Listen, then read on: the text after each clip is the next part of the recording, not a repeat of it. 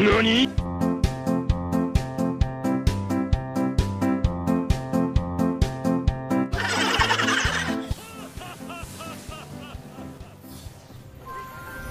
Hoot hoot! Virology is my cat. Diggie is my name. Hi gamers, this is Luru. And today we will do a quickie guide to one of my favorite and undeniably the cutest hero in game. He is my cat. Diggie is my name. We will learn some awesome tips and tricks as well as the best ways on how to use this wise owl effectively. Also, do not forget to button mash like and subscribe and turn on the notification bell. So let us get on with this guide and learn how to use the wisest owl in game but talks like this. Harry Potter's owl, you cannot fool us.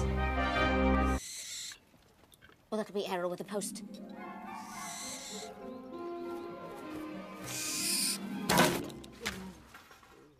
Fetch his Willie Percy, please.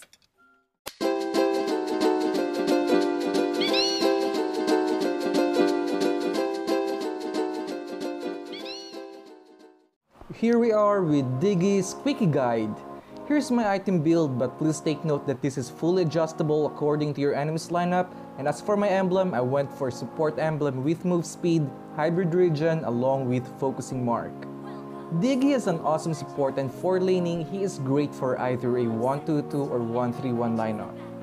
But before we continue, I have a quickie question for you all. Where do you think mid laners usually go after clearing the first wave? And you've probably guessed it right. They would usually go to secure their blue buff first. Given that, here's my first pro trick for Diggie. And that is to stock up some Diggie bombs in enemy's blue buff. If you move over there as soon as the game started, you should be able to stock up to 4 bombs after the mid wave's been cleared which is usually enough to kill an enemy core.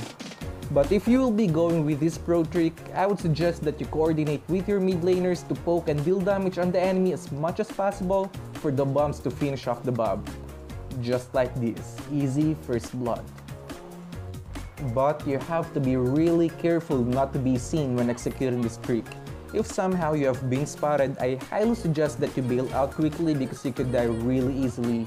But in the situation that you succeeds just like this, it is a great opportunity for the team to invade the enemy's blue buff, which gets to my second tip, which is by utilizing the bombs to zone the enemies out by scattering it to the enemy's possible entry point. For this particular game, we will be doing a 1-2-2 laning and I will be sticking with our MM Hanabi for me to babysit.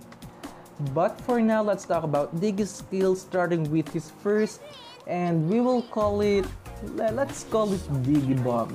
Okay, yeah, that sounds just about right. Diggie Bomb. You can place it on a spe specified area and for any enemies including minions or neutrals that gets close to it would be chased down by the bombs eventually exploding dealing magic damage. In fact, this actually has a pretty decent damage of up to 800 at max level and it would slow enemies down by 30%. The bomb can be stacked up to 3 times, but if the bomb doesn't detect any enemies within 30 seconds, it would disappear. Diggie Bomb has a lot of use. It can be used for vision, poking, and of course, zoning enemies out.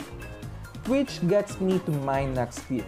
Place the bombs in bushes where it won't reach the minion wave or neutrals, so it would stay there to give you the vision that the team needs. Also, be very attentive and listen carefully because if the bomb were to chase an enemy down and explodes, you should be able to hear it, giving you an idea where the enemies are and avoid unfavorable situation. Do not be afraid to spam the skill because it doesn't really eat up too much mana, especially when you have high enough support emblem. The hybrid regen should be enough to sustain you, allowing you to spam the skills tactically. Just secure the perimeter and keep pressuring your enemies so that your carry could farm in peace.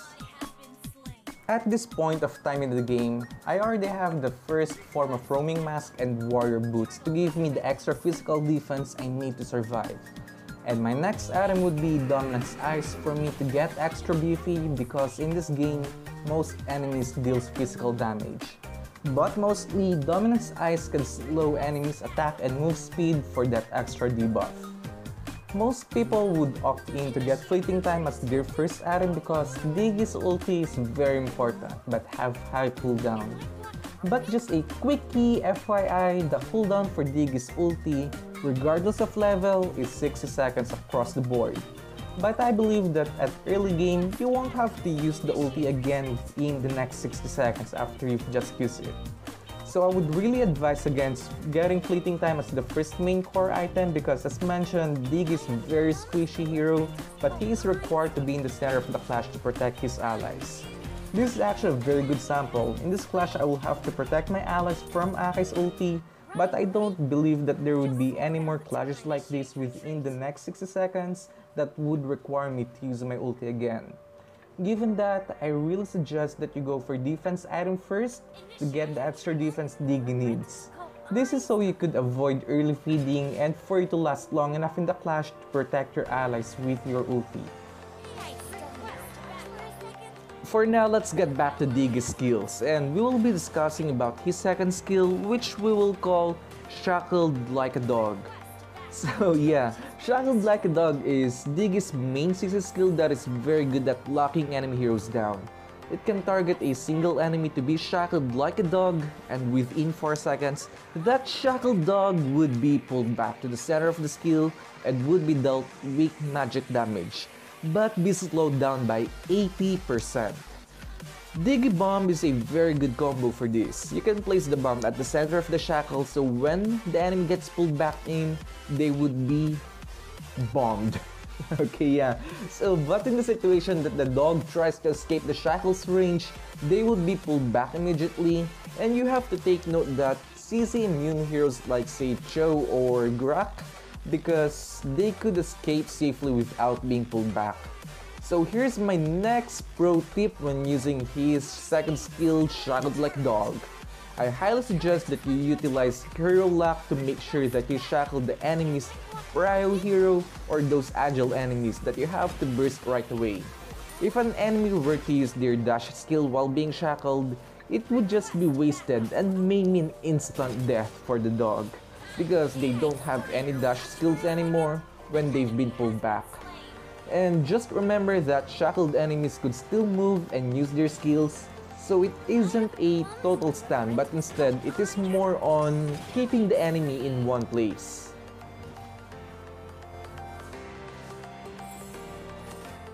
For an item update, I have just purchased the Courage Mask. This would greatly boost our teamfight potential because it greatly enhances the team's basic stats like say the attack and defense, and when the active skill is used, it would further enhance the attack, defense, and move speed by a lot to nearby allies for 3 seconds. Again, as a support, this allows you to help your allies win more clashes in early game. Moving on to Diggie's last skill, which will be named as Fat You Akai. With this skill, most Akai players or any other heroes that heavily relies on CC skills are basically fat. So Fat You Atlas, Fat You Ruby, Fat You Minotaur, Fat You Tank Heroes, and as a tank main myself, Fat Me.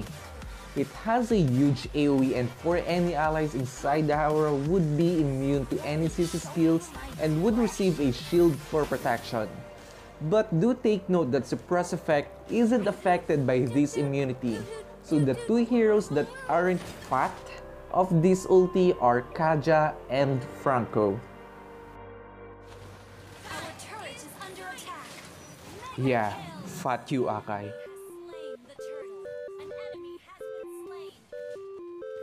When playing as Diggie, it feels like playing endless mind games with the enemy setters unless the enemy is mindless, so there won't be any much mind games for that. But in the case that they are very good with what they do, whoever gives in first to use their skills would most likely lose. But if we use the skills too late, then it means immediate defeat. Which gets me to my next pro tip. You have to be very patient and just make sure that you use the ulti at the perfect moment. In fact, you could use this skill while being CC'd by your enemies. So you could even wait until the last moment when the enemy already popped their ulti. but you have to be really careful and always gauge the situation. Another tip, as said earlier, it could also provide shield to your allies. So it could also be used to save the allies that's almost dying that doesn't need CC immunity by providing them some shield to last long enough and turn the tables around. And this is what I meant by mindless setters. Fuck you, Akai. Next pro tip goes to all heroes with crucial skills important to team fights, like Diggie. And that is to be courteous enough to let your allies know if your ulti is ready or not. A good communication is needed when using Diggie.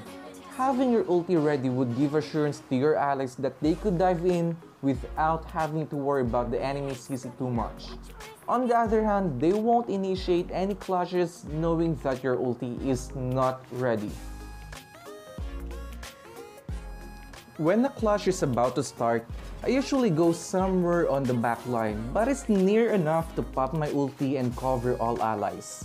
Again, Diggie is a very squishy hero and most enemies would like to burst this poor little bird down as early as possible to remove his pesky Fat You Akai skill. With a perfect executed Fat You Akai, could protect all your allies and get a possible team wipeout which means there are no enemies to defend while your team is still alive and kicking to complete any objectives.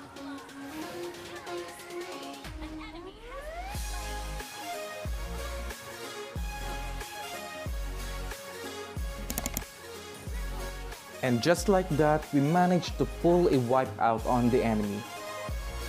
Here is another pro trick when pushing.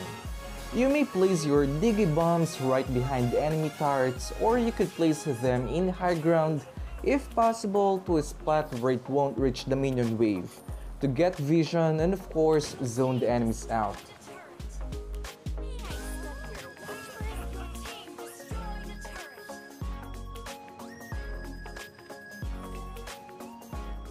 And just a fair warning, here's another Fatu Akai moment. Fatu Akai. For now, let's get back to Diggie's skills and this time his passive, which shall be named the Sir Scrambled Humpty Omelette Dumpty the 16th Egg. This must be one of the most innovative skills ever created by the devs in the game. They must have eaten a lot of happy pills when they thought of this skill. Basically, what happens is that when Diggie dies, he will turn into this rocking egg and will have a new set of skills, namely, Eat on my egg dust, Spinning egg tornado of death, and of course, egg traditional prayer of instant destruction, which is probably the most OP skill in game that could give you a chance to get an instant victory. However, legend says that it has a 0% success rate, but we could never tell because legend at times could be wrong. But on a serious note, Sir Scrambled Humpty Omelette Dumpty the 16th Egg can be used for your team's advantage. As you would have the ability to walk and be invulnerable, you can provide the most important factor to your team which is vision. You could follow the enemies in bushes, follow them all the way through to their turrets, and even to their fountain to get vision. And with this much vision, this could help your allies spot the enemies for a possible ambush or stay away from them for safety. Another awesome way on utilizing the passive is by positioning yourself by the time you respawn. Be sure to be on the spot where you're needed this could be near your carry, or be in the middle of the clash to pop your ulti, or chase an enemy hero. Here's another pro trick for Diggie. His OP egg skills deals a very small amount of damage to your enemies, and could even interrupt recalls. So if you find an enemy that needs to recall to, to either region up or defend their base, you can stick to them like a gum and pester them as long as possible as they won't be able to recall and delay their objective. And as the egg kills deals damage, If the enemy were to die, you would receive assist count as 4 and extra gold. For my last pro trick for Sir's Crumbled Humpty Omelette Dumpty the 16th Egg which may not be known to most players that the passive of his item still works while in his egg form. This means the slow from his dominance ice still works or if you ever got the idea of using Cursed Helmet on him, the Burn Aura should still work while in egg form. So even in death, you could still assist your allies. Brace yourselves to this last Fatu Akai moment. Fatu Akai. So, if you have any other heroes you would like to get a quickie guide of or perhaps an in-depth guide, just feel free to let me know. And what do you think of this Harry Potter's owl? Let's talk more about him along with other gamers on the comment section below. I'm also pretty sure that I will be using this guide as a giveaway, so good luck to everyone and I hope you like this guide. Also, do not forget to like and subscribe so that you don't miss out on guides like these and of course my giveaways. Again, my name is Luru. Game on!